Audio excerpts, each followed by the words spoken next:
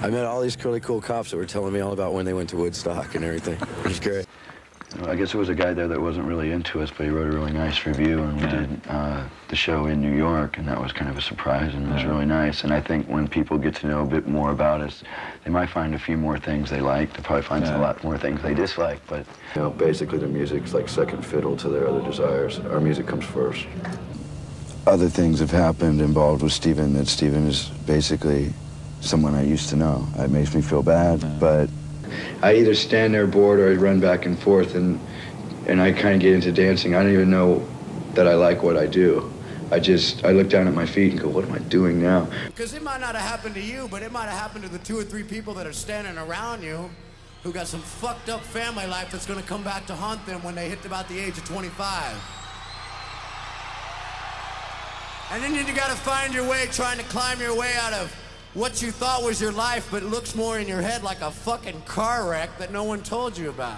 Oh, hey, we're Guns N' Roses, and you're watching uh, MTV in Japan. Don't change that channel. What do they do when they put you in jail? Did you have a cell by yourself, or were there other people? Did you get to talk to any other like inmates or anything? No, I'm- I ma- basically spent my time writing autographs for cops and talking with them about rock and roll. I met all these really cool cops that were telling me all about when they went to Woodstock and everything. It was great. New York cops are the best. The question in many observers' minds, of course, was why Rose didn't just return to St. Louis to plead his case months ago. According to Rose, it's taken this long to work out an ironclad deal, which, as things stand now, means a sentence of two years probation reduced to one year. We've just been waiting till like to get the, the case somewhat solidified and in writing before we go because I don't want to go there and get set up. You know, well, you come here, it's going to be like this, and then it's, it's a whole different story, and, and you end up sitting in St. Louis for a long time. What does probation mean? You can't do it. Come back to St. Louis and do something bad, or you can't do something bad anywhere in the country. It's like anywhere. It's, it's anywhere, but I'm not really worried about any of that because I really don't spend my time breaking the law, so I'm not really worried about that. It just depends on, you know, if you play someplace where somebody doesn't like rock and roll or Guns N' Roses, they could say I did something, you know. You never know what will happen with that.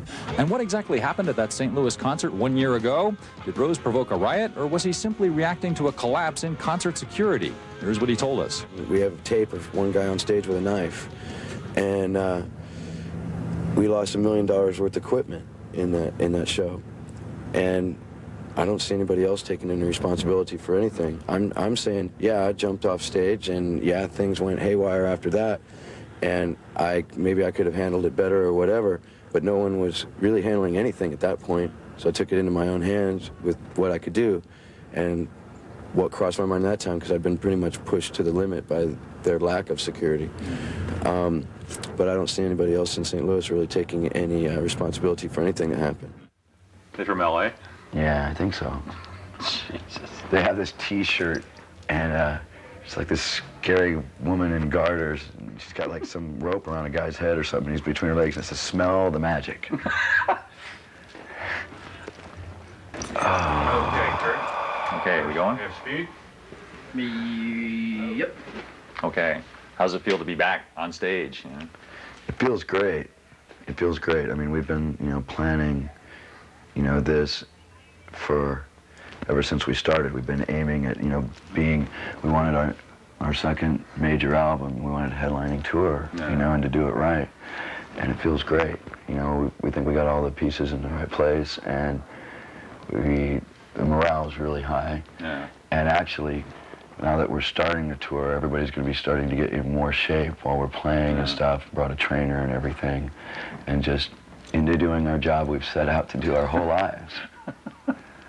Is, there is there a, fundamental difference in in what's going on in the band now that you have a you know a new drum, completely new drummer and a keyboard player too? I mean, has it changed the music at all, or just the scope of the sound? Um, well, Matt's really solid, you know, and you can, everybody in the band can rely on Matt's playing. Yeah. You know, it's, you know, the drums are, are like your anchor, and he's definitely the strongest anchor we've ever had, and one of the best drummers that there are, I think, in the world. And, you know, because every show I'm more amazed by.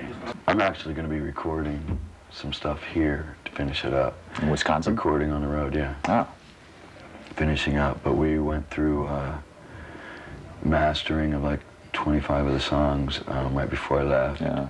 And we went through all the approval of lyrics and all that stuff, and the artwork's all coming together, and yeah, it's definitely coming out. All right, good. Did the uh, why, did, why did you decide to put it out as two separate records when, of course, it could have been a double gatefold spread, single album? Well, um, on album form, on on the on the wax, it's four albums because we wanted to have the deepest grooves and stuff for since vinyl's somewhat going out. We wanted to be one of the last bands doing the best job we could for you know audiophiles and stuff. You know the deepest grooves and and a minimal amount of time on each side and figuring out the sequ- sequencing was really hard trying to you know to start each side and end each side with a cool song so it sounded like it began began and ended right resolved properly and the CDs and the tapes being you know two separate things we were like going well a lot of kids and a lot of people you know when they go to buy a record they go to buy one and they won't be able to you know it's like if there's a choice well, I'd like to get Guns N' Roses, but it's twenty nine ninety five, Right, right. and this other band's twenty. Oh, I'll get that one. You know, we're like, maybe we can, you know, get past that a little little bit. pass there. You can buy one or the other. How does it how does it sound better on CD or on vinyl? Um, I'm sure it will sound better on CD. You know, we work to make it sound stronger on CD, but we're gonna, you know, definitely work on the mastering to get the best sound we can on the vinyl. Everything gets as much attention as anything else. Every single song's got as much attention as any one song. Um, every little part, you know, we're kind of perfectionists who never quite get it right, but Is there some sort of different concept for each of these records? I mean, is there a different mood for each one, or Well, I'd say the first half of the first CD is more in line with Appetite. It's all mm-hmm. new songs. And the second half of the first CD has Coma and November Rain and mm-hmm. The Garden. So some really experimental numbers for us. And then I'd say the, the first half of the second one is the South will rise again. we didn't plan on that, but we but there's like there's there's de- you know it's like Heaven's Door Yeah. and Civil War and um, song Yesterdays and a song called Breakdown that definitely have a bit of a southern rock feel Wow. that like we've like I'd say Paradise City like in the chorus kind of has that and Sweet Yeah. Child kind of has that and it's there's it, it ended up the best sequencing to make the record flow all the way through we didn't plan on putting all those s- songs in that vein together but to make this the record flow all the way through. So if you wanted to listen to all of it that's the best way. You know? Hmm. And there'll be uh, a version of Don't Cry on both records, one on the first one and one on the 2nd And the one on the first one is the newly recorded version of the original lyrics. And then the second one is the newly recorded version of alternative lyrics. They're kind of like 91 updates, got different um, words and melody in the verses, and it just kind of happened while I was recording the other one. We were like, I mean, that's the song that, you know, basically is why we got, one of the reasons we got signed. Yeah. And people in LA that have been our fans since we started playing clubs were always bummed we never put it on record, but we were kind of trying to save what we considered one of our ace cards because we didn't know if we'd sell five records, you know, or what. Have the lyrics changed like radically? Are they more upbeat now, or Um, I, I don't know that it's it's more upbeat or anything. It's just kind of where my head's at with that song now. Yeah. You know, rather than making a nostalgia piece, you know, when we do the new one or hear it. And a lot of people that liked the original and it was their favorite song, you know, got license plates that say "Don't Cry" or whatever. Um, heard the new one and kind of flip out, like, how did you do that? I don't know. but, you know, when we were in the studio, I was like, I don't know what's happening, Mike, but just let me go with it. You know, and it worked out really nice. And my friend uh, Shannon Hoon's in a band, Blind Melon, and he's from Indiana, and they were doing Don't Cry back there. Yeah. They got a bootleg demo tape in, in Lafayette, and I didn't even know him. I'd known his sister. But he has a really gorgeous voice, so we do like kind of a duet on the songs. Oh, wow. He sings on four songs. He sings on The Garden and um, sings on You Ain't the First. yeah? yeah. Well, there's a lot of other vocalists on this. Right? I mean, is he singing songs? And, Yeah, I mean, I, I worked on bringing the other people out with what they did. I thought what they did best. You know, we still haven't worked it out on stage how we do it yet. You know, but is there going to be a point where you're going to be able to play like all this material on stage? Could you really perform it all on stage? I, I- you know, you know, a dream I have is to get to where I can do a three-hour show. Yeah. And right now we don't use a set list. We just pick song to song on how it feels and what we think we can perform best and what I think vocally I can do best because it's still warming up. I figure, you know, we're going to go out and give as much as we can every time, but I figure a real Guns N' Roses show, what we're, we're shooting for, hopefully I might have in six months. I mean, remember that thing I, was, I told you last time? It's like Jagger was working on getting that stage thing together for a really long time, Yeah. you know, and learned a lot from him. You know, so we're hoping that in six months we can actually have different set Yeah. orders and things and have it planned out so it's a lot more dramatic. Yeah. You know, and there'll be additions to the stage setup and the lighting and things Yeah. like that. We didn't use right now because of my heel. We're not using a lot of the stage setup that we have. We have extra ramps and Yeah. ramps coming out in the middle, fully lighted, and we're not using any of that at this particular time. Dizzy said he's hoping that there'll be some sort of like sign language so that he'll know what the next song is Yeah, when the rest of the guys. we're working it out. You know, little by little. We're we're trying. What was the, what exactly happened to your? How did you do this to your foot? Um, I've just had a chronic history of bruising my heel and messing up the ligament, but never couldn't couldn't afford it at the time when it happened, when I was like in junior high and Yeah. stuff, to figure out what was wrong. And then about a week ago, we played the Ritz in New York, and I got really excited and was just jumping off everything. And, you know, there's a lot of photos of me like 10 feet in the air and stuff.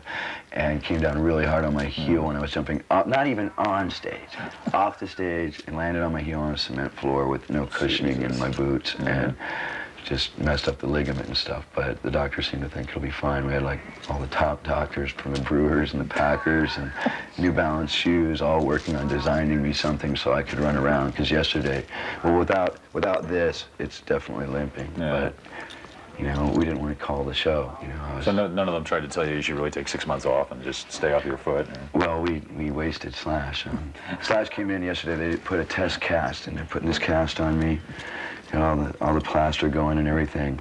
And we bring Slash in, and, the, and there's three doctors all over me.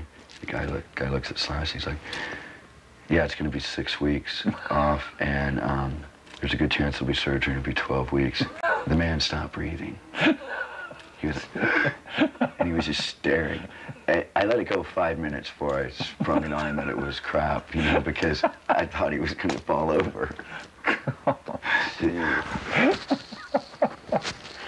Slash says he's in good shape now. You know, he's not totally a health fiend, but he's everything's going good. Yeah, I mean, I mean, everybody will get in better shape once once we like, you know, get some, you know, uh, some form of regimentation down, you Yeah. know, and, and stuff, and realize what we're in and what we're doing, and we're doing it every day because we want to take this for the long haul, and as Yeah. long as that can be, it'd be nice if we could, you know, go for a year and a half to two years. Because there'll be, after this comes out, there'll be an EP of six punk rock Yeah. songs coming out, and we'll be work. We're already starting to work on new material now with an eight-track on the road, and hopefully, you know, we can fire something out by the end of this Yeah. rather than wait forever. I think it's kind of touching that you're putting out this punk rock tribute EP. Now that you know the band is expanding its sort of horizons and moving on to different kinds of material, but remain true to your roots. you know? well, yeah, and also because I've watched like, you know, I got made fun of for liking the Ramones. Yeah. And then, you know, eight years go by, and then everybody that was making fun of me is sitting around watching Rock and Roll High School Yeah. and loving it. And I, you know, I want a lot of these people to hear songs that they didn't hear. I mean, there, there's, there's selected cuts that you can't really find the original recordings Yeah. that they're on and B-sides and stuff of songs we think really rocked and way, way influenced us. Yeah. And we also do a tribute to Stiv Bators. Yeah. We did Ain't It Fun with Mike Monroe. And um, it was really strange because when we did it, you know, both of us in certain places, without even trying, ended up sounding a bit like Stiv, you know. Candles would flicker and bells would ring for no reason, and we were like, Stiv's here. God. Did the uh, and Johnny Thunders died too. It's been a bad year for those guys. But, uh, we were, we were talking to a lot of the fans out for like hours out front tonight. It's just on Slash. It's amazing that given, given the amount of material that's actually come out from Guns N' Roses, not a lot for like a major band, but they, there's really this connection between the fans and the, the group. I mean, it's incredible. Do you still get to talk to people and get some feedback from them? Can you do that? Can you go out and like just meet them? Um, Yeah, I mean, I have to usually somewhat keep uh, it a bit controlled and stuff so things don't get crazy and Yeah. stuff. But, you know, I was out signing autographs and talking to other people tonight. Yeah. And, yeah, um, or I'll, like, keep in touch with somebody who does have a really good ear to the street and Yeah. stuff, you know, so I can keep up with what's going on out there and keep aware and keep up to date and stuff, even if I'm busy and have to stay home and work on my record. I mean, what do you do? You think this is because of the state of music at the moment? It's like this kind of whatever this stuff is on the charts. I mean, there's you're like the only guys. Um, yeah, I'm not bagging on anybody else, but um, there's a lot of people that are just worried about being rock stars or individual rock stars in bands, you know. And I mean, there's a lot of with Guns N' Roses fans. There's a lot of Axl, you know. But it's like this is a band, and I wouldn't be able to do what I do the way I do it, and wouldn't be able to get the recognition if I didn't have the band I have being supportive and playing the music that they play that makes me run around and Yeah. stuff. You know, we all pretty much get off on each other a lot. You know, so it's definitely a band thing. It's you know, it's weird because it's like uh, like the Doors movie wasn't really about the Doors. You Yeah. know, but I mean, you knew that was going to happen and stuff, but it was. There wouldn't have been, you know, the place for him to do what he did if he didn't have that band. Yeah, right. Precisely. Did the uh, and you met, you met Arnold Schwarzenegger too, I gather. I mean, you've been working Arnold was great. Arnold's really nice. How did this happen? Um, he apparently has a Guns N' Roses head. you know, and he was uh, working on his movie, and he said that he was talking with Jim Cameron, the director who did The Yeah. Abyss, and, and, and he was um, saying he wanted to get some good music, some hard music, some Guns N' Roses. Some really For strong like stuff. a very long time, and finally, like, you know, last month, all of a sudden he was like, I think you're right. And I was like, it's a little late. But what worked out really cool is we wanted to put out a version of a song, You Could Be Mine. And also with Don't Cry, so we have a rocker and a ballad. Yeah. And we let them listen to a lot of the material, and the song they picked was You Could Be Mine. Hmm. And so it worked out good for both of us. And um, we shot a, a video for it. We, we filmed the show in the Ritz, and then, you know, I guess Arnold was flying back from or something. Going, I want to be in the video. so Arnold got all his people and put together a video. So we'll have yet to see what it, what it's like. Have you seen the movie? Um, I saw the movie. I liked it. It's Terminator meets the Abyss. It's real high tech. Yeah. You know, I don't want to give anything away about it. Does your song crop up in a particularly moving part of the movie? The song um, pops up in a way that the kids will like go, yeah, and they'll love it, you know, and that's a lot of fun because I remember being like that when I was a kid, you know, Yeah. just crank my rock and roll, you know, and so it works real good that way, and it's it's pretty energetic. Yeah. Was it was Skid Row the first band that came to your mind? when You said we need an opening act. Who should we get? Well, it's got to be them. Um, well, we just figured that uh, we wanted a really high energy. We wanted to give the people something they really wanted. Yeah. more than other acts at the time and something on a hard rock vein and we you know ever you know Skid Row was doing really great and people wanted them and then Sebastian and I get along great Yeah. you know we're hoping to work together some and Like record together. it just yeah we want I told you that last time we want to do a version of Amazing Grace Oh, so right. we haven't got to it yet but uh I just thought it would be a good package because it will only be for a while Yeah. you know, and then they're going to go with a couple other bands and then hopefully go to headlining themselves. And so, you know, it's when you- you're a kid, you're always going, you know, it would be a great show if I could see this band and this band and this Yeah. band. And we just knew that that would be one of the shows that if we, you know, if we didn't do, people would be talking, well, what would that would, what would that be like, the two things together. So it's something we felt we had to do, Yeah. you know. I mean, I was gonna say like almost even if we had hated them, but we don't. You know, we were gonna know we we got to do this because it'll be a lot of fun. Yeah. You know, and the fact that we get along so well and that they're really into what they do and it's high energy. I mean, they got the crowd all worked up for when we come Yeah, out there. definitely. And it's definitely a now it's a, a really large audience cross, you know, and they have a lot of people that haven't seen us. There's a lot of Skid Row fans that are more into Skid Row than Guns N' Roses. There's Guns N' Roses fans that are more into us than Skid Row, and it brings us to all of them, you know, and I Yeah. really like that. Do you think the music business understands what, what Guns N' Roses is by this point, or do they just see it as like, well, these are the latest hit makers? I don't know. I think the music business is starting to go well. You're not making a whole lot of mistakes, so we'll just go with it. And if it's, you know, if it's fun for everybody, it'll be cool. And we're trying to make things nice for everybody that's involved. Yeah. You know, and that's it's really fun for me. You know, because you know, getting the reputation of such a brat. you know, it's good to turn it around. Jesus. I feel like a brat when I'm up there running around. I feel like a little kid. You ever, do you, are you conscientiously trying to keep the business from taking over the music? I mean, you know, everybody turning up in suits to have meetings about the future of the band and stuff. And we don't really have that.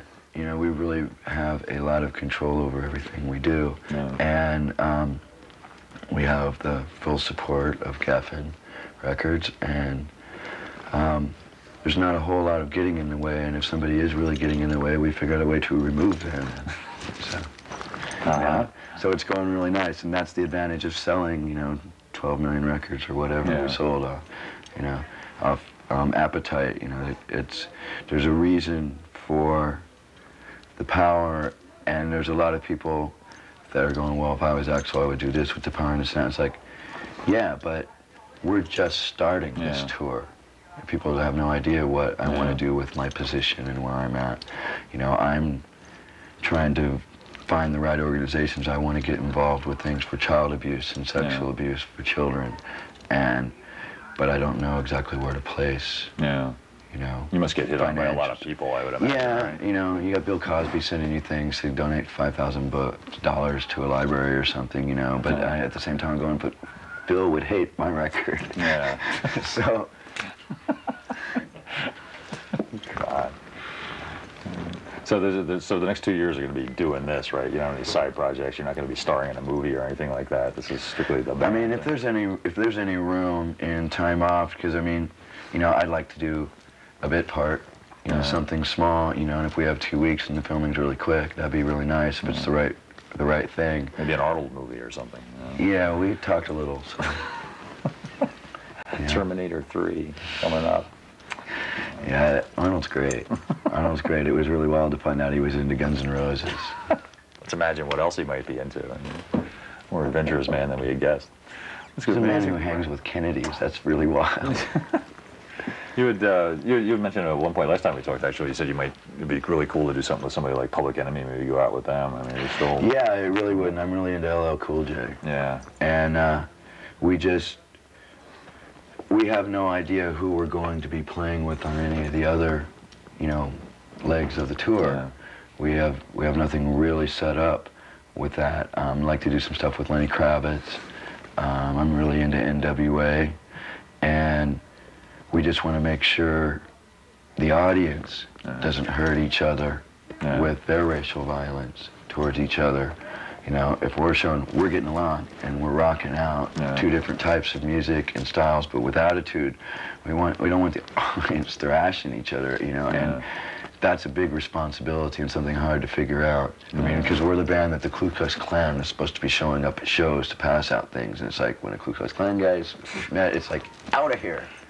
You know, Have you encountered these guys? Have you seen these guys showing up at your shows? I haven't seen it's first show, so I mean, so I don't has this ever happened? Um, well, they said they were going to, and uh, you know, we were going to, you know, sue the Ku Klux Klan because they were trying to say we were supporting racism. It's like, you know, the Grand Wizard and stuff, and it's like, you know, fired off the letters from the lawyers right away. It's like you're out. Don't even think about, you know, you misinterpreted something I said. Yeah. Don't even think about it. Did you see the Did you see the uh, unplugged show that MTV did with the rap guys backed up by a band? you got to see this. I haven't got to see any episodes of. Unplugged, and I'm hoping I can get tapes from you guys. Well, they got all, they got Because I hear about all these great can. shows. But they had LL Cool J on there, and they had Yeah. this band, like an acoustic band, backing them up and doing all the like scratch things, like scraping on the guitar string. It's brilliant. It's unbelievable. That I think sounds- we can uh, that arrange sounds a dub amazing. of some That sort. sounds amazing. I'm, I'm really into the song. uh, I'm the type of guy. Yeah. That's awesome. That's really awesome. And Mama said "Knock You Out" is a really, really amazing song. I think I got an LL Cool J poster somewhere here on the tour. Did the uh, you Spin magazine just ran a copy of the contract that you guys were putting out at one time, which people might be thinking, oh, what is it with these guys? Are they trying to control everything? I mean, do you think you're misrepresented when stuff like that comes up in the press? Well, in regards to Spin Magazine, you know, I read a review of that piece yeah. somewhere else and it was like kudos to Spin Magazine for not bowing and scraping for an interview when the facts are that that's basically what they've been doing for a really long time and since they couldn't get it they decided to be hostile. And um, that was a test contract basically because of um, certain situations we've had with the English press that we tested in Rio. Yeah. And the most outrage that we really got was from the magazines that we were having problems with to begin yeah. with. You know, and because we weren't going to talk to them anyway, and then they saw that and went running with it. But um, no, we're not trying to control everything. We just want what we said, or anything we say, to be in the proper context yeah. and to be something we really said. You know, and we've had certain things that make may not hit the world on a big scale, yeah. um, but dealing with smaller magazines and stuff where they've ran all kinds of interviews we never did, yeah. and where they've said I said things like I may have said something hostile to a member of another band, but they've turned around and said I said all kinds of things I didn't say, and it's like the things I said were even meaner, but I knew what limb I was going out on, and then somebody cuts down the tree underneath me. And it's like, it's not really fair because I do take the time to try to answer the questions and and talk about things as honestly as I can, and then have someone distort that, you know, and if a magazine, you know, has a, maybe they have a subscription rate of 50,000, 72,000, but, you know, this was a 40,000 people show yeah. tonight. 40,000 people were here, you know, and that hits that many people with a different impression of us, you yeah. know, and that, that kind of hurts. Yeah. So we're just trying to make sure that doesn't happen. You know, um, if we don't have a real big problem, and if we get along with people, we don't even, you know, ask about the contracts. You yeah. know, it's like if we know it's okay, everything's going to be okay, and it's going to be honest, then it's fine.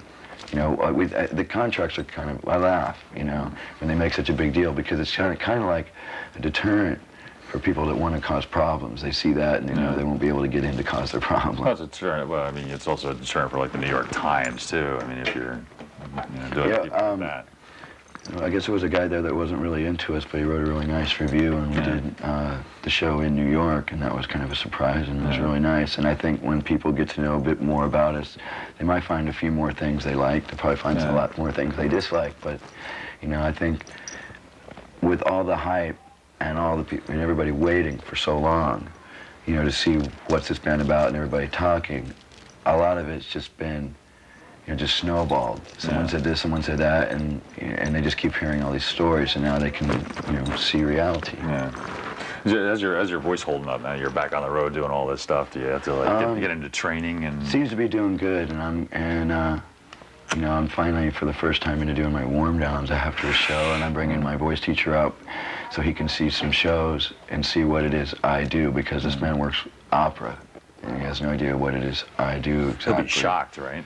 yeah. I had him at one show in L.A., so he's getting the idea, you know, and then, you know, and I'm taking the steps so that I can ensure the people a good show and that I'm up to my, my best. Do the, uh, so, you're going on the road for like a year and a half, two years. Is everybody in the band just putting their personal lives on hold and like, we're just going to live out of suitcases? And... Well, we've kind of, most of us have figured out how to integrate our personal lives into what we do, where we tried it before and it wasn't really working or the you know we weren't with the right people and it's not now things are kind of going together and this is our personal life yeah you know we've we've wanted to live on the road you know and enjoy it and everything is is so nice and on such a big scale it's really nice you know yeah. hate to go down the tubes and be back to a van going to the clubs but I think you're in danger of having that happen anytime real soon. Never know. Never know. I don't want to take it for granted. Well, I'm sure you've got some money socked away in the bank, right? But keep that savings account going.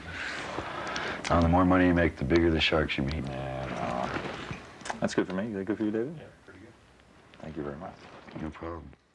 Maybe only in attitude in some of them. I mean, Ross done all kinds of material. Um, I like Kiss in their early days.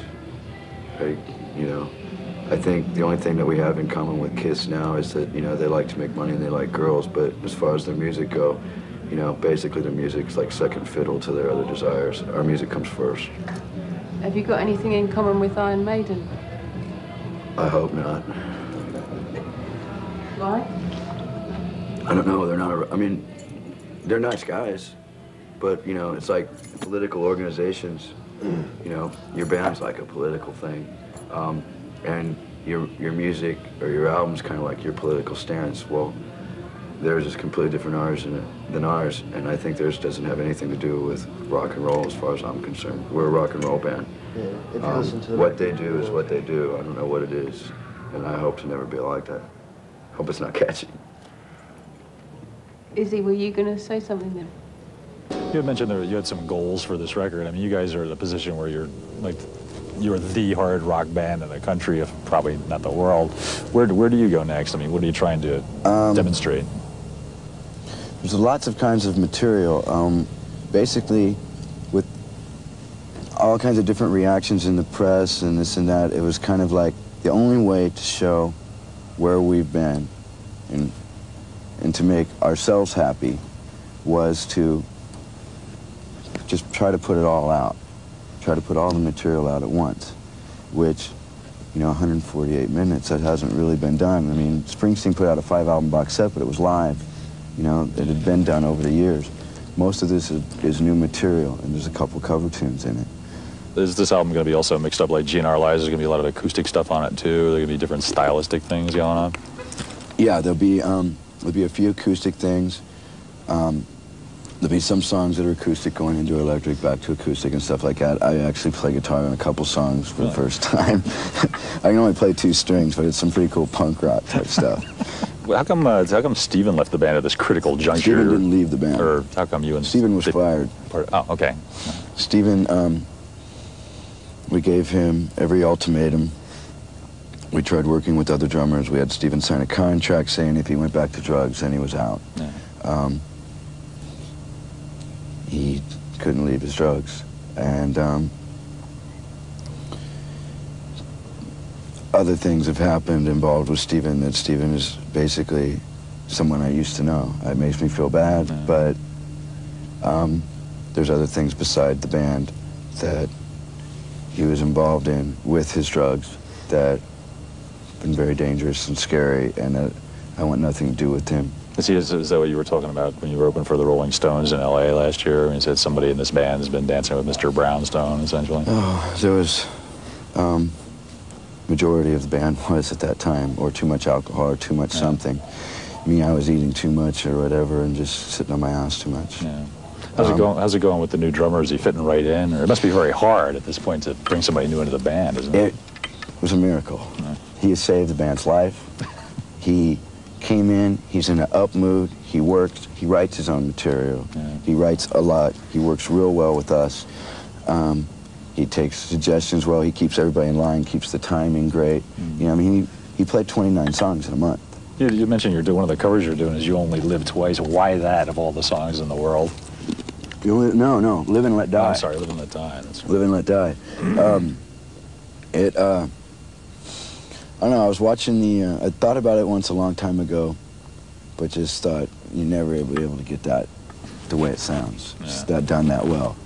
And then I was watching, uh, I'd rented the movie, and I was watching it, and I just went, this, this song sounds like Welcome to the Jungle too. you know? It's like now that you're here. So, and it, ju- it just felt right. So we ended up playing it a little bit in rehearsal, and it started working. And now that we actually have gone in and started recording it, you know, we're finding out that wait, we are good enough to play this song. Yeah. You know, we didn't think we were. You know, we didn't think we were good enough to get it down right. You know, but Slash is doing most of the string arrangements Yeah. on his guitar with a harmonizer, and it's so it's kind of like, to me, it's like Tom Waits meets Metallica or something, because the way I sing it's so rough and scratchy, but you know that I sound like Tom Waits or something on it, kind of.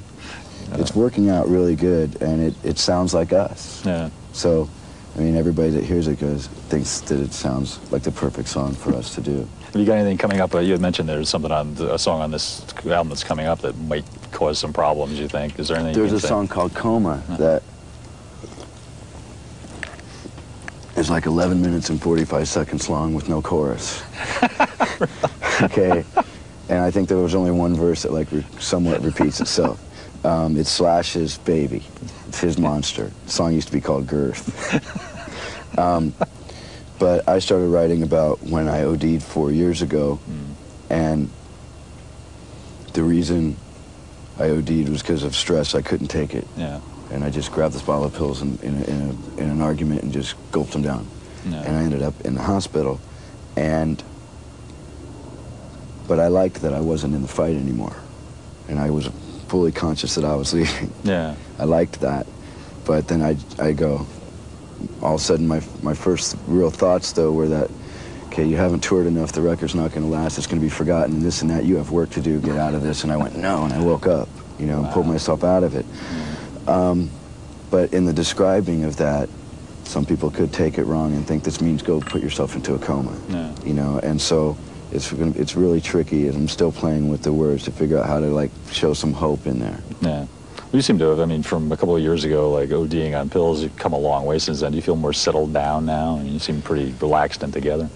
Yeah, but it's been a lot of work to do that because there's, you know, part of, we got used to like, as the Eagles would say, everything all the time, As the Eagles would say. You know, living that way and going for it, and all of a sudden you started to, re- and then that's what got us here. That's what got us signed. That's what got us on top of things. And then you started, then you got to a point where you go, wait a minute, everything that got me here is also starting to self, is starting. I'm starting to self-destruct. It's starting to tear up my life. I have to figure out how to channel my energies other directions. It's, it's a weird one. Settling down is a weird one, you know. Do you think it's just a function of like getting older and uh, Um, you know, learning more and being more aware of what's going on? It's realizing there's life after, you know, 21, life Yeah. after 25, life after 27, you know. Yeah. 27 was the hardest year. Um, I met Prince and I was talking with Prince and he was like, how old are you, 28? And he goes, last year was the hardest, wasn't it? And he was saying how 27 is like the bitch. It's the hardest year. Really? Um, 27 was definitely my hardest year. Well, it's all behind you now. Yeah, it's still a mess, but like I'm used to when it gets a mess. Yeah. Did you uh, consider that valid when people say, "Well, you're up there in front of kids, uh, you have to set a good a good example"? I mean, a lot of people say, "Well, no, I'm an artist. I don't have to set an example. I just do my art." I mean, how do you feel about that? It's real tricky. Um, when we our first major tour was with Motley Crue, and the audience was younger than most Yeah. Audiences we played, like on the Aerosmith tour or in other tours or our own tours and the tours with the Cult. And it was real hard to do the song "It's So Easy" Yeah.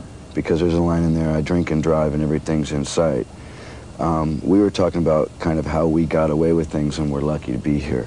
Um, it was real hard knowing that some of these kids would just go out and go, yeah, I drink and drive, everything's inside. I mean, Izzy put it best when he said, a lot of people think our record means, you know, party and do cocaine and rock and roll, and it's like, and that just ain't what it is. Yeah. And so Izzy was going to quit at one time because he was, didn't like the way people were reacting to it.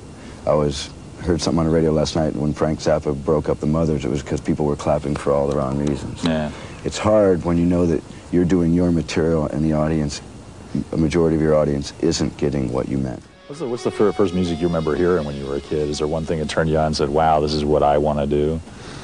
Um, When that happened, when it turned, I mean, I was already playing and singing and church music and all kinds of things. When it happened that, is this what I want to do, was Led Zeppelin's Jamaica. Mm-hmm. When I heard that, I was making fun of it all day long. Because I was always writing down the lyrics to all the joke songs that were out, Spiders and Snakes and stuff, and passing out to all the kids. But I heard that song and I was going, yeah, there's another one. Oh, oh, oh, and I was making fun of it. But by afternoon recess, I was in the corner with the radio waiting to hear that song. that, Benny and the Jets, just made me go, I want this. It's funny. You wouldn't, I wouldn't normally picture you as an Elton Elton John like launching your consciousness of music. Elton John is it. If, if like, you know, his, especially the first seven albums, Bernie Taupin Yeah. to me is the best lyric writer who's ever lived on the face of the earth. And, and Elton John was just amazing in the studio and Yeah. the recording of everything. And it's, some of it's so art. I mean, to me, that's my classical music because some of his stuff is classical. Yeah, right. You know, the, and so I listen to Elton John all the time. Yeah. Gus Dudgeon arrangements and everything. I'm always supposed to meet them. I think they're the only two people I'm like nervous to meet. you know, it's like something always comes up where I don't feel well and I just can't meet them. Yeah. How did you? What were you doing when you? Was it was the first thing you did in music? Was it church stuff? I mean, you'd just be going to church and singing. Were you singing in a choir or something? Or? Um, church stuff, singing since I was a little kid. Like my brother and sister and I would have to sing in a trio, which was then the Bailey Trio, and we would sing in front of the church, which started like in the little back room of a library and then built up to where it was a big brick country church. Um, this is like nearer my God to thee, stuff like that. Or? Yeah, all the and Amazing Grace and everything. Yeah. Actually, Sebastian Bach and I are talking about doing a version of Amazing Grace together. Really? I think it's it's a whole new idea that him and I are going to do this together because everybody wanted us to be enemies, yeah. kind of a bit in the, you know, press things or who's better or this and that, and it's kind of like we just hit it off, you know. Have you, have you patched up your, your differences with uh, Vince Neil and the boys? And he had a scuffle last year backstage at the. Oh, uh, no way. No? Oh, okay. No way. Haven't patched up anything. The Video Music Awards were not a picnic for all concerned, however, including Guns N' Roses guitarist Izzy Stradlin, who was punched in the face by Motley Crue vocalist Vince Neil as Stradlin walked off stage with his manager Alan Nivens. This was apparently Neil's reaction to a 1988 incident at an LA rock club in which Stradlin allegedly assaulted Neil's wife, Sharise, then had her ejected from a room at the club. What's the, the what's the dispute there? Um, well, I mean, they think, I've, I've read in the interviews of theirs that they feel that it's like I'm just, you know, standing up for Izzy and stuff, but Vince should be careful what golf courses he's mouthing off about Axl on and who he's playing golf with. You know, when he goes out playing golf, and mouths off about Axl, and he happens to be playing golf with people that work for me, yeah. stories come back. Um, you know, and, you know, he, he likes to put in magazines that he broke Izzy's nose or, you know, and how Alan Niven wasn't even there, my manager or anything like that, and no one was around. I don't know. We didn't want to take it to court because it would be too much trouble and too much hassle, but when, you know, Tom Petty's security crew wants to be witnesses in court, you know, it's, you know, it's funny because Izzy's like going, because people think it's going to happen sooner or later or, or whatever, and it's like that, that Vince and I'll get into it or something, you know, and, and Izzy just, Izzy laughs because he's like, that guy, you know, had a full-on free shot, yeah. you know, and hit like a powder puff, you know, and he was like, so it's like, it's, it's pretty scary if the guy thinks about a real hassle. You know, I put in a magazine, you know, anytime he wants it anywhere, yeah. Atlantic City, I don't care. We'll put money on it, you know. I don't care, you know. And then he tried to turn it around and say the same thing. But, you know, the invitation's yeah. there. I'm easy to find. If you really want a hassle, you know, we can, we can have it out. I always thought everybody on the LA scene was so tight and friendly and everything. You know, just. Uh... Oh no, it gets real, real competitive. Um, we tried to help a lot of bands when we when we knew we were taking off. Yeah. And even some of the bands that we were helping, I don't want to name names or anything, ended up getting very jealous mm-hmm. because they were having to like kind of like exist in our shadow a bit. And that was really hard because we were like we could have given the gigs to somebody else. Yeah. You know, we could have helped someone else out. Jeez. Do you, are you still? Did you still feel a part of the scene? I mean, you still go out, right? Can you still go to clubs a, and stuff? A little bit, yeah. I can go out more now. People don't. It's it's not as crazy as it was. It's the ball starting to get rolling again, and it's starting to get crazy again. But I can go out a little bit. Um, about a year ago, it was a mess. Now now it's mellowing out, and I think people are a little bit. I don't know if it's intimidated or, or what. They're just. They now they kind of look at me like, oh my God, no, that can't be him. Even if they're talking to me, they don't think that they would see me, which is kind of cool. Because you don't see as, as, as, each other as much as you did when you were like living in one.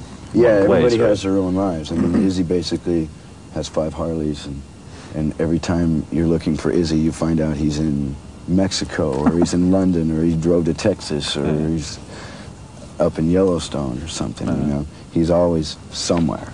What about the rest of the guys? Are they pretty scattered too? I mean, Slash Um, stay home and play all the time, and He's always working on something, Yeah. working on his house or working on someone else's record Yeah. or something like that. So we don't really hang that much, but we call each other up on the phone to tell each other what we did. You know, we're Yeah. best friends even though we have separate lives somewhat. You know, and we brought that friendship back together. You know, because otherwise it was getting to a point where okay, then we are going to go separate. Can you can you imagine yourself ever going off and doing like a solo album? Can you imagine finding a band that would be for you what Guns N' Roses is? No, I can imagine finding people that play really good that I want to do songs with Yeah. and see about possibly putting a solo project together at some point, but not getting the same effect. Yeah. but I can't really see trying to duplicate what Guns N' Roses is because Guns N' Roses is so much more than we ever thought it really would be. Which is odd. You wouldn't expect to hear this in rap circles. I listen to Public Enemy now all the time. That's, Really? Yeah. I listen to Public Enemy, Ice-T, um, NWA, and Geto Boys. are you- do you think that you're, there's a future for you in rap? I mean, are you, are you good at this? I'm not that good at rap. And, you know, um, I listen to it a lot. It's like, I like it because it keeps me awake and aware of what's going on. Yeah. You know, it's like I watch Yo MTV Raps more than I watch Headbangers Ball. Yeah. Headbangers Ball has a lot.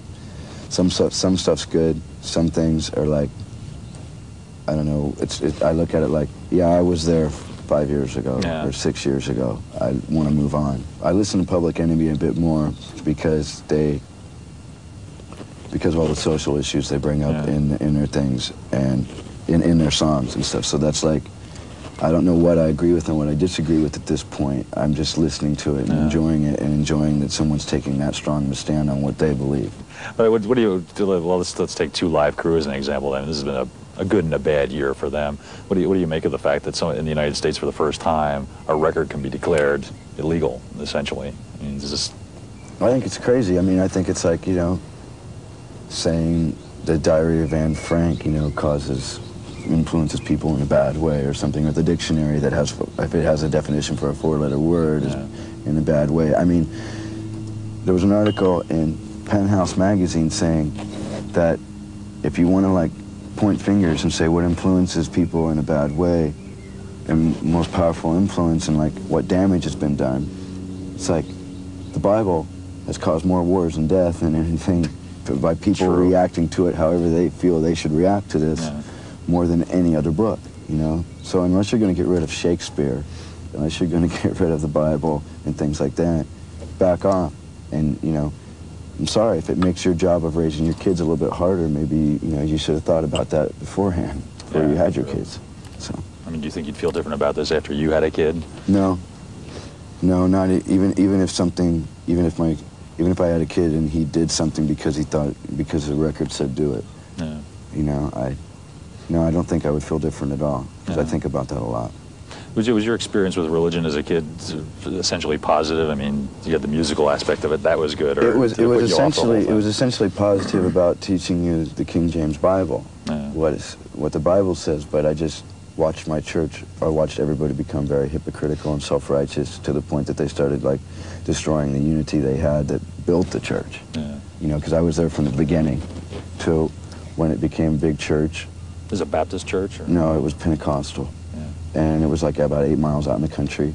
And then it just got very hypocritical and self-righteous, you know, like, you know, you could you could sit there as a kid and watch people on this side of the church were saying something bad about the people over here, you know, and it's Yeah. like, it just got like, who was more religious, you know, within Yeah. the church, who was pure, who was going to heaven and who wasn't in the congregation, and it was like, it was just very very negative Yeah. At Does that it- point. Does, it, does this upset you at all, seeing because these seem to be the people, the fundamentalist people, seem to be, to be the, the people that are attacking popular music, especially rock and rap now. I mean, people like we just covered a, a record burning, believe it or not. Again, these guys, the Peters brothers, and they're throwing in old the old Ozzy records and all this stuff. I mean, it's it's incredible. This is coming back again here. It's 1990. It's like know? Dave Mustaine says, though, you know, to burn them, you had to go buy them. Yeah. Good thought, I suppose. you know, it's like go ahead, burn the record. You know, make make some news, make some news for me. Um, I think people are just scared of art. You know, which art's very powerful, and it's hard to say which art, you know, should be in the hands of babes. You know that they don't understand what they've got in their hands. I mean the wall is a very powerful Yeah. piece of work that like I know people that like got into the wall and didn't come out of it for Yeah. five years. You know, they just locked themselves into this frame of mind of whatever they were getting out of that album. Yeah. You know, and I don't. I, most of it seemed to be positive, but during the five years, they became very distant from everybody and very alienated. Um, but Roger Waters was giving everything he had, describing where he had been in his mind Yeah. and what life did to him. So I, I don't know. It's it, art. Art's a very powerful thing, and I just don't think they know what to do with it. And I don't think they can stop it, but you have to go out and fight. You've always had to do it, and just because we're in the 90s and it seems like it's easier, you know, it's really no different than like you know, back in the 17th century, you know, when you had Yeah. to fight for a book to be printed or something. Yeah. Do you still do you still paint or anything yourself? And I'm just starting to draw and paint. Um, a few years ago, it was like, okay, you can go take photos or you could build this sculpture. Um, you should probably throw yourself into the band. It was like all or nothing for Guns N' Roses to get to make this happen, to give me the chance to do whatever I wanted. Yeah. You know, it's like there was other reasons for, you know, Guns N' Roses fighting to get this successful was so that we could do what we wanted and get and get away with it and be able to live comfortably doing it, you know, and have some security. What did you when you finally got you finally got on the stage with the Stones last fall? Were, were they what you expected them to be? You know, 27 years on in their career, did they still have something going for them? Did you It think? it was great playing with them. It was it was a, a definite dream. I mean, it was something that we told people we were going to do, and people were going, "No, they're broke up. I don't care. We're going to open for the Stones. You wait. We're going to do this. I don't know how, but we're going to do this." So, and then you know, I told Keith Richards that, and he's like, "Well, you made it, mate. Let me have a cigarette." yeah, I mean, they go to Anthrax shows, they go to Metallica shows, you know. But you know, some of those kids like all kinds of music, but there isn't. You know, they'll go to the Iggy Pop shows when they come to town and stuff like that. You know, and then they came to us. Some of them, you know, they they come to us. It's not totally dead. It's just, but there's not that many of them in bands that are doing that well anymore over there. Um, you know, and it's like a lot of those people were also into Hanoi Rocks, and now Hanoi Rocks isn't around, and so we kind of like fill a gap somewhere, you know, in between Metallica and Hanoi Rocks and Aerosmith, who haven't been there in 10 years. We kind of like come up through the middle, you know, because we put everything kind of like together into one band, and yeah, there was all kinds of different people. I mean, you'd, you'd look at the crowd and see someone who's like 65 years old, and then see someone else who's who's 15 with a mohawk. It was great, and the press was really weird because the press, you know, said the crowd hated us, but the crowd was screaming and singing. You know, the press was just trying to see if they could stop us before we got bigger. But then we went back into the Odeon for 3,000 people or more, so kind of ruined the press as a little, a little blockade. You know, that's that's like saying, what's your favorite record? It kind of depends on the mood you're in. I mean, you could pick one, but it might not be the one you want to listen to tonight. Um, one of the best shows I ever saw wasn't was an Aerosmith show, but it wasn't Aerosmith that was the most exciting part. Rose Tattoo opened the show, and Rose Tattoo was great. I saw him in Indianapolis, December seventh, a few a few years back, and Scarred for Life tour, and they opened and they were just phenomenal. Um, Aerosmith was um, was the Rock and Hard Place tour with Jimmy Crespo and Rick Dufay. And Crespo did one of the best leads I'd ever seen because he, he played off the crowd real well. But it was Rose Tattoo that just blew me away on how like, because it was it was an arena like this, packed, about 18,000 people who hated Rose Tattoo. They were they were Indiana people who just were like, this band sucks. I don't want to see them. But that band, you know, no one had even heard their music. I had heard their music just a couple weeks before. I was excited. I just so I watched people. People went psycho. They were like, "This is the greatest." They loved it. Next day though, they were all scared to say it because there was a lot of kids, and it was you know during the big preppy movement in all the schools in the states. You know, Izod shirts and the whole bit. So the kids were like saying how much how much better Pat Travers was because that was the middle act. When Pat Travers played, they turned the lights on so you could go get hot dogs and, and coke, and people were going to sleep. It was that's how boring it was. Rose Tattoo won the whole audience over, and it's just like I'm going. If they can do it, you know, it just you just got to do it right, you know. And it taught me a lot of lessons. That are blues-based hard rock bands. I mean, you got a couple from Australia. What you have, AC/DC, Rose Tattoo, Angel City, and that, and that's about it that I know of. I think tonight was a blast. Tonight was a really fun show. It's like I haven't felt too good physically. I've been having throat problems, tonsillitis and stuff on this tour. And tonight was kind of like the first time everything was back in gear and just the kids were great. Mm. Lots of fun tonight. Well, that's that. I love that you think that. That's great because that's basically what we consider ourselves is an 80s version of those type of bands that we heard. You know, there was, there's a lot of different forms of music that we like, but you know, a lot of so many different kinds of things we listen to, but there's certain certain records and certain albums that we listen to consistently, and a lot of those are AC/DC, Aerosmith, Led Zeppelin, and old Alice Cooper, and things like that, and Scorpions that we listen to all the time, and it just it was really surprising to me that in the 80s there's only there's the only bands that are playing that style of music are those bands. None of the kids you know, that have grown up and have bands of their own now know really how to dig that deep for feeling. But basically, I think it's a, a real emotional thing. Even if you're singing about something violent or singing, whatever you're singing about, I think you have to look real deep for the emotions, and that brings out the, the realness in the material. A lot of material is just, lately, it seems to be how fast we can play or how we can do this a lot of bands do something real fake so that they can be rich and be rock stars. That's that's that comes after the fact. That's second. Maybe in rock and roll, but you know, there's as far as hard rock goes, he is one of the few. But there's a lot of different what's the word genre. Um, genres of music where a lot of you know that's that's just part of it. I can't help it. I either stand there bored or I run back and forth and and I kind of get into dancing. I don't even know that I like what I do. I just I look down at my feet and go, what am I doing now? But I feel if I stand there, then the people think, oh, this is boring. So I got to do something, and I just try to do whatever happens. Um, it's a lot of fun. I thought about taking dance lessons and stuff, but then I be, and then I was worried about it getting too stale, being too much like organized and everything. I like the spontaneity of just whatever happens. Keeps it real raw and fresh. Don't, if it got too balletted out, I couldn't handle that. Well, it's definitely like now it's reality, not fantasy. Um, I don't know. I think I've always been one to tend to like imagine that it's going to be better when I get there than it really is. You know, because you just realize it's just another place, and but things are going well, and, and we're you know it'll it'll get bigger. Um, I don't think I'll relax until like we're headlining in a very, very big way and being able to put a full show across. Um, and until then, it just we're still hungry. And then, even when we get that, then it's like we want to make a really big show. We still got a lot of things that we want to do musically.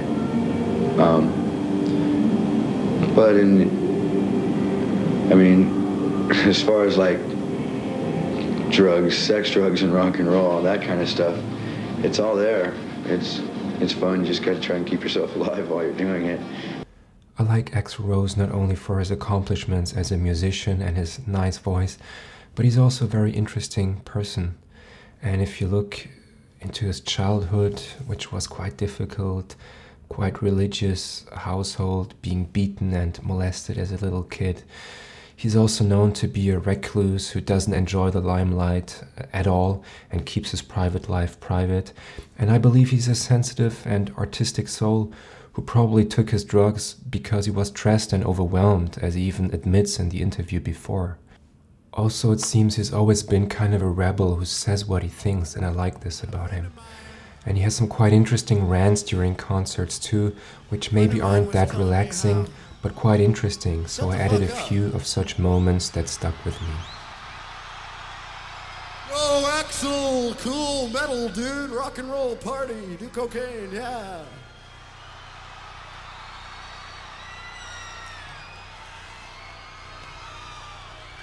I ain't here for that.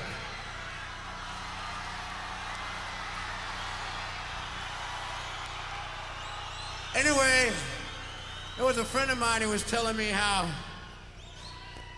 how some of the members of my family and some of the friends of my family have taken a great offense at what I said in this magazine. It's a shame what, look what he's done to his mother. His mother can't even go out of the house now. It was amazing my mother could have gone out of the house before knowing the shit she fucking knew. And why is he talking about this?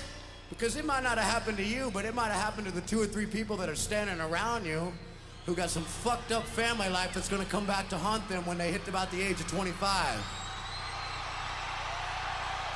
And then you gotta find your way trying to climb your way out of what you thought was your life, but looks more in your head like a fucking car wreck that no one told you about. Because the family doesn't want to be embarrassed by these things coming out.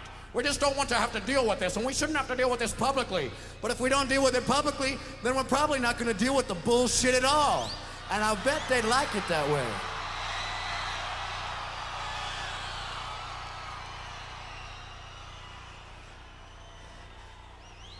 I'm not a qualified therapist. I don't know a lot of shit about this, but I do know that we're in the 90s.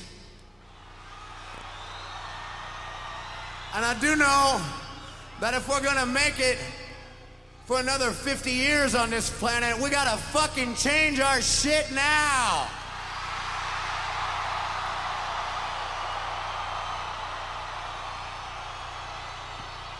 And there's a lot of motherfuckers that don't want that shit to be changed because that's gonna dig up their crap. There's a lot of parents who done fucked up their kids through their whole fucking lives and they're about they're about 40, they're about 50, and they think it's cool. Fuck that shit.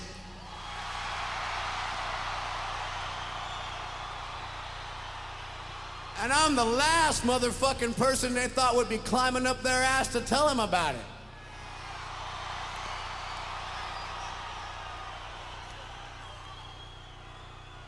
But see, for me now, it ain't about fucking doing cocaine. It ain't about how much vodka I drink and how much I can drink someone else under the table. It ain't about what a fucking macho man rock and roller I can be. That shit don't work no more. That's great for little kid rock and roll fucking bullshit, but it don't work no more in the real world for my eyes.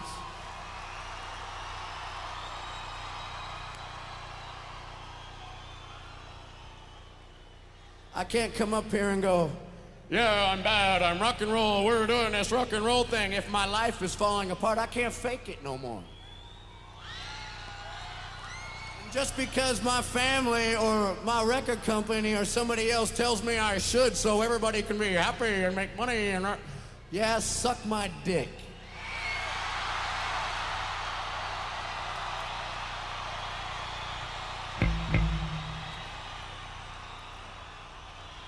Anyway, there are those in my family who are, they, they plan now that, now that I've written these things that they're gonna get revenge because it was a terrible thing I did and we're gonna get revenge.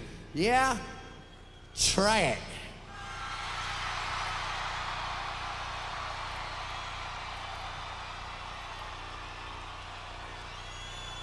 And if a fucking scrawny little high, junior high 90 pound weakling can finally get his ass up here and take this shit on, so can any one of you that have the same fucking bullshit problems in your life. They don't have to get away with it.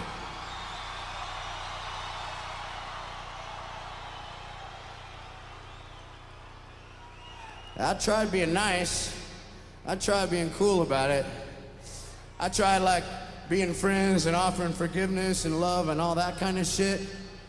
All I got was, you know how much we love you, but let's keep the screws on and keep you down like we always have. Yeah, well, guess what? I changed my point of view. For me now, it's kind of like live and let die, motherfucker.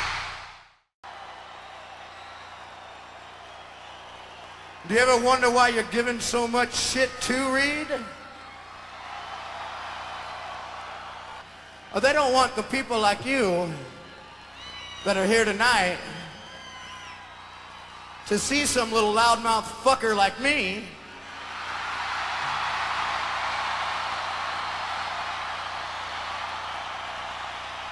who crawled out of some shithole somewhere and worked his way up onto this stage. They don't want, there's something out there that doesn't want people like you to realize that you can do whatever the fuck you want with your goddamn life.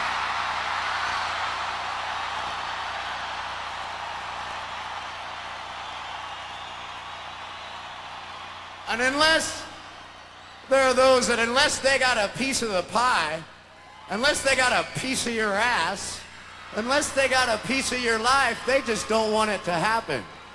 You do it their way or you don't do it. And they can suck my dick.